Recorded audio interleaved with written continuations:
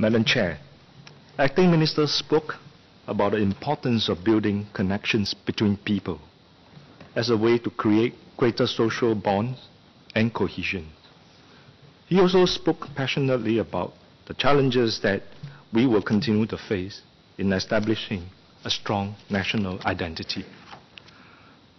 Madam, in a diverse society like Singapore, social bonds and national identity emerge both out of experiences that we have in common and experiences that are unique to each one of us. Strong social bonds and a sense of identity will help create social capital. And the Minister painted the pictures of this as Singaporeans being able to help, trust, and rely on each other. So let me also add by saying that it is also a sense of community and a natural affinity, a natural affinity for our fellow Singaporeans. Having tightly knit communities not only gives each one of us the emotional support that we need, but also gives us the confidence to bring new Singaporeans into our midst. Mr. Baey Yam Keng and Mr. David Ong have asked about how MCCY will strengthen the national identity and build social capital through our efforts across various sectors.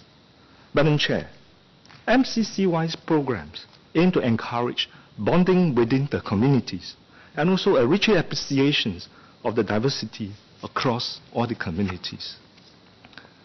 With your permission, Madam Chair, may I display some Im images on the LED screens? Yes, please. Thank you. Madam, allow me to first elaborate on our efforts in the arts sector.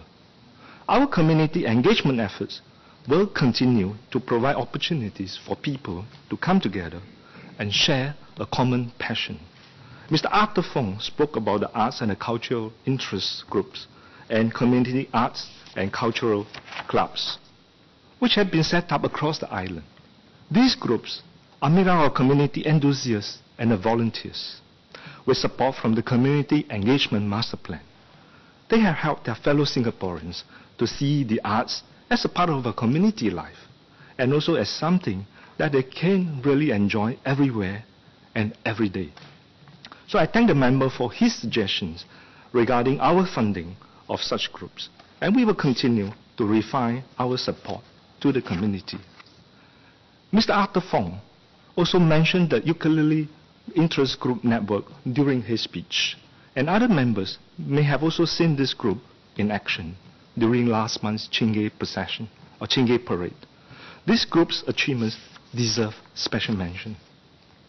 Since last September, over 1,800 Singaporeans between the ages of 4 and 92 have picked up the ukulele from Mr. Loh Tse Yong and other community champions.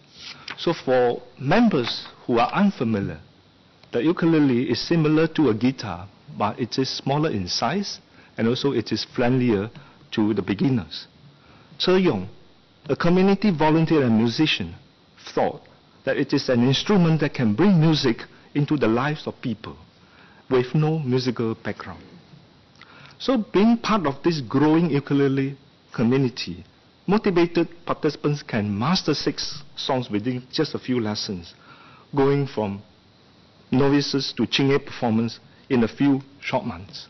So members of this house, if you are keen to learn ukulele, I'll be most happy to introduce you to uh, Tse Yong. So maybe perhaps at the next year Chingay parade, some of you will be able to perform. More importantly, their newfound passion for the ukulele brought the neighbors together closer. And regular practice sessions have also become a place, a common place to meet with the new friends. So we will continue to support such opportunities for Singaporeans to bond over a love for the arts.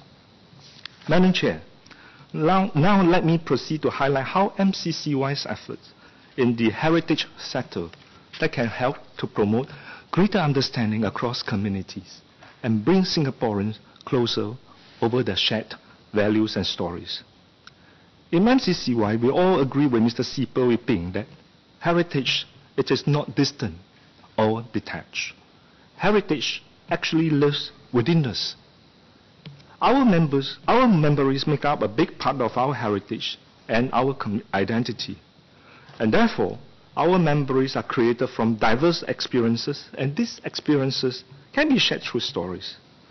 Mr. Alex Yam asked about what MCCY will be doing to preserve the parts of our heritage that extend beyond the physical. Helping Singaporeans to tell and share stories will play a big part in the MCCY's role to help preserve our heritage and also to build our national identity, something that has been so passionately talked about by members of this House. NHB, or National Heritage Board, will be launching a new traveling exhibition to honor and also to remind us of the brave healthcare workers who stood on the front lines during the SARS outbreak, and how Singapore stood behind them as they work to overcome this crisis. NHB is working with Tan Tock Seng Hospital and the Ministry of Health, and the exhibition will be launched next week. The new exhibition is part of the National Heritage Board's Resilience Through Heritage series of exhibitions. These exhibitions tell the stories of moments which have brought us together as a people and also to remind us of the strength of the Singaporean spirit. Our programs will continue to promote awareness of these defining moments of Singapore's history, which have played a very strong role in shaping our identity. Besides these stories that have touched us all, we have also amazed some deeply personal stories that are worth sharing. We therefore agree with members' suggestions to go beyond national level efforts. Our efforts to foster pride in the distinct heritage of different communities will also help to maintain bonds and held together by unique experiences. Take Madam Moslima as an example. She is a former resident of Kampong Jali, Kampong Kaji, near the Sultan Mosque, in what it is Kampong Glam today. They may not live together along Bussorah Street anymore, but Madam Moslina, Moslima and her neighbors still share fond memories of the Gotong Royong and the close community bonds of their Kampong Kaji days. When NHB was creating the Kampong Glam Heritage Trail last year, these old neighbors came together to share their stories. A place close to the heart now also has a place in our shared history. And the trail is a reminder of the community bonds that she shared with her neighbors. And the memories of Madam Moslima and her former neighbors, as well as that of the many neighbors, uh, former and current residents of Kampong Glam areas, are all captured in a very nice handy guidebook called the Kampong Glam uh, Heritage Trail. By encouraging Singaporeans to come forward with their own stories, our approach to heritage celebrates not only those things that are common to us, but also those things which, are make, which make us, each community, a very unique one.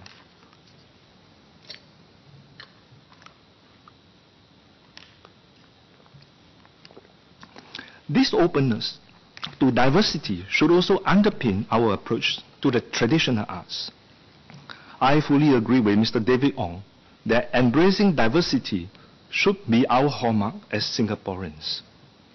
Singapore is indeed fortunate to be a cosmopolitan port city, sitting between the East and the West. Our forefathers had brought their rich cultural traditions with them in the past, and we can continue to benefit from the vibrancy that new immigrants and visitors bring to our shores today. I fully agree with Mr. Baey Yam Keng that we should do more to attract new audiences and uh, supporters for traditional arts. Traditional arts will remain vital to MCCY's effort to promote mutual understanding and appreciation across different communities. And we will continue to support the efforts to help traditional arts forms to take roots and also to flourish. Madam Chair, NAC had launched the $23 million National Traditional Arts Plan in 2010. This has strengthened our efforts to create a more vibrant traditional arts scene that reflects the diversities of the Singapore society and also to encourage greater interest among local audiences. NAC supported a total of 60 traditional arts groups last year. And going forward, we'll continue to invest significantly towards key strategies to support the traditional arts and the arts groups. So let me elaborate. First, the National Traditional Arts Plan will continue to support organizational development for traditional arts groups. A new initiative in this area is the Traditional Arts Organization Consultancy Program. It was held for the first time between August last year and January this year. A number of traditional arts seed grant recipients have participated in this program. And the feedback given by them has been very positive. So through this program, the groups have improved their administration, strategic planning, and organizational development capabilities, which will help them to become more professional and self-sustaining. We will continue to support traditional arts groups to establish themselves and also to create a strong and sustainable impact on the cultural landscape. Secondly, we will also continue to support the passing of the traditional arts forms from one generation to the next. So that Singapore can continue to draw on the traditional art forms in maintaining our links with the past. Two of our valuable platforms are the National Indian Music Competition and the National Chinese Music Competition. Aspiring towards success in this competition has helped to motivate young talents like 17-year-old guzheng player Nicholas Quack to strive for greater excellence in the craft. Nicholas won second place in the youth category of the competition in 2010, and he continued to develop his talent and strengthen his interest in the instrument. So finally, he was able to achieve the first place last year. And along the way, he also took part in the Dongyang Cup International Zen Art Week in Harbin, China, where he also managed a first place finish in his category. So young practitioners like Nicholas will help the traditional arts engage and also to inspire new generations of Singaporeans and continue to flourish in the future. Finally, we also continue to support the creations of a traditional arts programs and activities to engage a wider Singaporean audience. For example, last July, NAC supported Mura Pasatari Melayu by the Malay Dance Committee.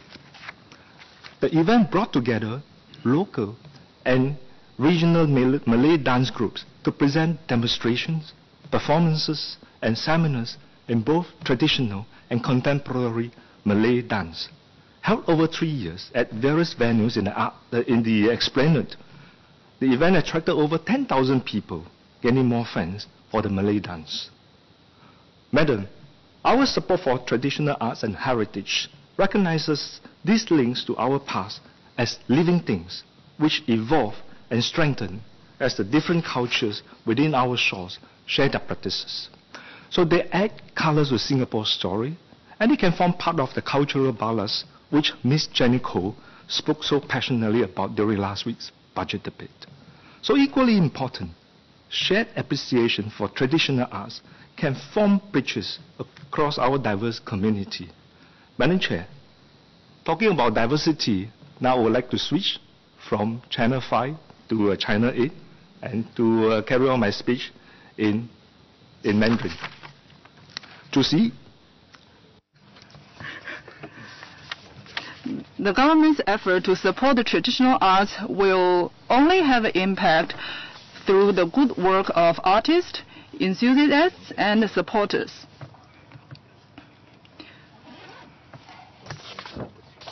For example, uh, Resonance, a Sheng ensemble founded under Thomson CC's Youth Club, is one such group. Formed in uh, 2011, the ensemble is made of mostly of young musicians below 30 years old, many of whom are continuing their practice from schooling days. The NAC uh, last December, they hold their first concert. Uh, besides showcasing their talent, they also use, use this platform to deepen the audience understanding of sheng, this traditional instrument all this effort has played an important role to uh, to create uh, a better understanding of traditional arts. I hope there will be more uh, traditional artists to tap on the fund provided by the government and promote traditional arts.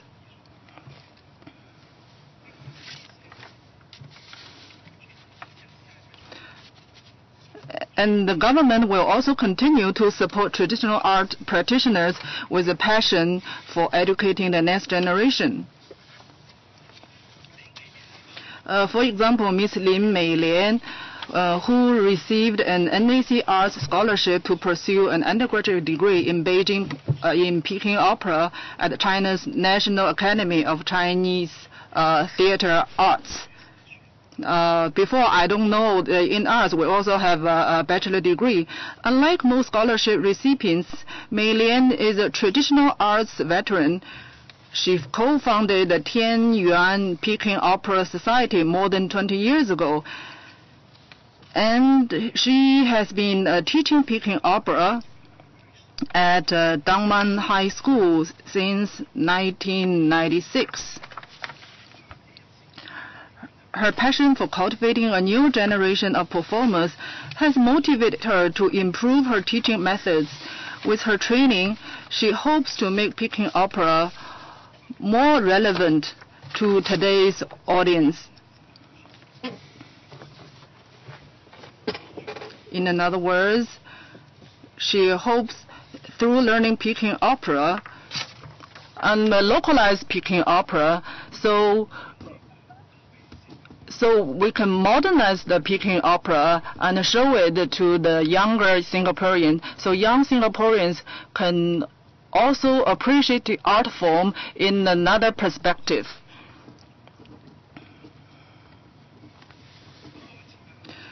So we look forward to her further contributions when she returns from Beijing. Finally, the contributions of private sector champions should not go unnoticed. Since 1987, the Singapore Federation of Chinese Clan Associations, SPH, and uh, SCCCI, and the PA have organized the River Hongbao to celebrate the Chinese New Year. And the event has uh, integrated many elements of Chinese traditional arts. This year, the event included a harmony night uh, which brought together not just the Chinese traditional arts groups, but also Malay and Indian traditional arts groups to highlight the diversity of Singapore culture. I believe the motivation for these individuals and groups extend beyond the passion for their respective art forms and also comes from an adherence to the cultural traditions which are embodied within their practice we will continue to support the development of traditional arts not only as a source of greater vibrancy and, in, and inspiration for the art scenes, but also as a conduit for our rich cultural heritage to be passed from one generation to the next and shared from one community to another. We're Channel 5. Madam Chair, in, while an appreciation for our diversity can bring us together, insensitivity towards our differences can also drive us apart. Mr. Zainudin Nordin cautioned us against the further erosions of the sense of communities which we have built painstakingly since independence. And I share his concern wholeheartedly. So our sense of community has changed. So with the internet and the mobile phones replacing face-to-face interaction. So Mr. Desmond Lee also reminded that it is all too easy for a simple impulsive post on Facebook or so single insensitive blog entry to undo what we have achieved in building a harmonious society. Mr. Desmond Lee also reminded this House that while we work hard to integrate new members into our society, we must not neglect to bridge potential racial and religious fault lines. Madam Chair, I fully agree with members that Singapore cannot remain as a society that shows tolerance only on the surface. We should instead work towards building genuine understanding and respect across our racial and religious communities. MCCY will continue to, dig, to make this our priority on this journey. So members will also be familiar with our work in the interracial, interreligious circles, or IRCCs. IRCCs are set up to promote dialogue and also to foster friendships across faith and ethnicities. So since December 2010, IRCCs have held a series of four IRCC at Heartlands events to increase understanding of our religious, ethnic, and community groups in an interactive way. The most recent event was held in December last year, and it involved seven religious organizations and featured scaled down replicas of their places of worship. And participants will also be able to uh, learn about the history and the practices of the Baha'i, Buddhist, Christian, Hindu, Muslim, Sikh, and Taoist faiths at once, all under one roof. This will greatly enrich their understanding of the multicultural Singapore. More such creative methods of outreach are indeed needed, and we intend to do more. A genuine attempt to understand our fellow Singaporeans for other races and religions must also come from each one of us, and not just from the government alone, or government policies and uh, programs alone. MCCY will therefore focus on encouraging more ground-up initiative where Singaporeans of different backgrounds can come together and co-create more opportunities for us to celebrate our diversity. So since 2009, a group of passionate youngsters of different races have been organizing an annual event called Rafusiko. I'm not so sure how to pronounce this right, but uh, it is an acronym for Racial Fusion and Culture. So they call themselves Refuge Seeker. Sounds quite cool.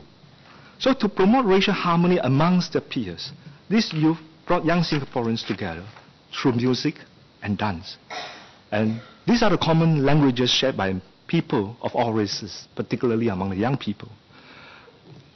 Refuge Seeker has grown in popularity. So the most recent event was held in December, which featured a flash mob along, along Orchard Road and bringing the spirit of the event to even more Singaporeans. So MCCY will establish a 5 million Harmony Fund to support such ground-up initiatives. And we want to encourage the blossoming of such activities across the island so that all Singaporeans will have an opportunity to gain a greater understanding as well as the appreciation of our racial and religious diversity. Non-profit organizations will be able to apply for co-funding from the Harmony Fund to undertake worthy projects. So these could be projects that raise awareness of the importance of racial and religious tolerance, promote knowledge and appreciations of different cultural practices, to encourage interactions between different racial or religious groups, or reduce negative stereotypes or misconceptions about our or other communities. So with this new fund, we hope that more groups will come forward and share new and creative ideas to make Singapore a strong, vibrant, and, if I may say, a more colorful society. So to conclude, MCCY recognizes that we are a nation made out of different people, and all with our own passions and our own stories. And our efforts to create this sense of community will respect and celebrate the diversity of our experiences. MCCY will continue to support Singaporeans in sharing their passions, their stories, traditions, and perspectives to create a strong communities that enrich one another, and at the same time, a nation united not only by our common bonds, but also through an appreciation of our differences. Thank you.